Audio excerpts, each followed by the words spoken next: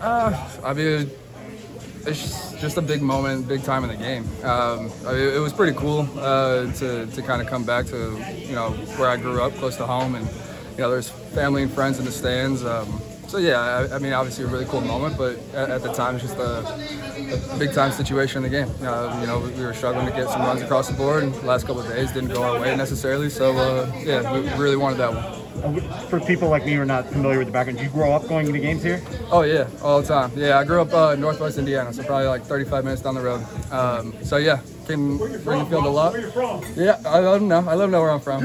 Two, 219. Yeah, yeah. So, um, but yeah, no, so I came here a lot and. Uh, yeah, full circle now playing here. How many games would you estimate you've been to here? Ooh, my whole life. I mean, 40s, 50s, yeah. in that range. Yeah, not every day, but it, quite often. Yeah. Rooting for the Cubs or just baseball? I was rooting for the Cubs. Yeah, yeah, yeah. I, I, was, I, grew up a Cubs fan. My dad was uh, kind of instilled that in me at a young age, and uh, yeah, so we came to the park a lot. Who was in the stands for you today? Uh, my parents were here, um, and then I had some high school buddies that uh, I believe were out in the bleachers, so I'm sure they were having a good time out there. yeah, yeah. Where you know where they were? I, I mean... don't know necessarily. They just said bleacher seats, so maybe they were close to where the ball ended up. But um, yeah, who knows? They were out there though. Yeah.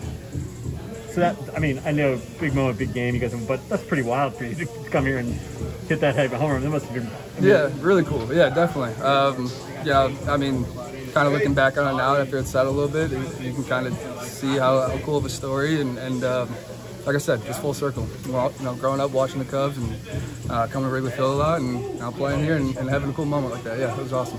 I'm sure you've seen replay go both ways for your team. Yeah. Do you get nervous when you have that moment at the bottom of the seventh? Yeah, I mean, I thought he was out initially. Um, looking back on the replay, um, you know, it was it was tough to kind of see a definitive answer either way. Um, you know, calling the field stand. So, uh, you know, Willie made a great play, got rid of the ball early, and, uh, you know, he let the arm beat a little bit. So, uh, hats off to Willie.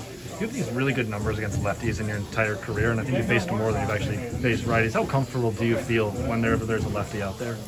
Yeah, I mean, I, I, I like to think I feel comfortable in the box most of the time. Uh, left, lefties are obviously, um, you know, game's a big splits splits game this day. So, um, yeah, when, I mean, you know, uh, all, the biggest thing for me is just making sure I'm staying aggressive, uh, getting on time for the heater, uh, righty or lefty, um, doesn't matter. So, obviously, you see the release point a little bit early um, from the left side, standing in as a righty, but yeah, I, I just aggressive mentality is, is kind of my uh, foundation, I guess. Yeah.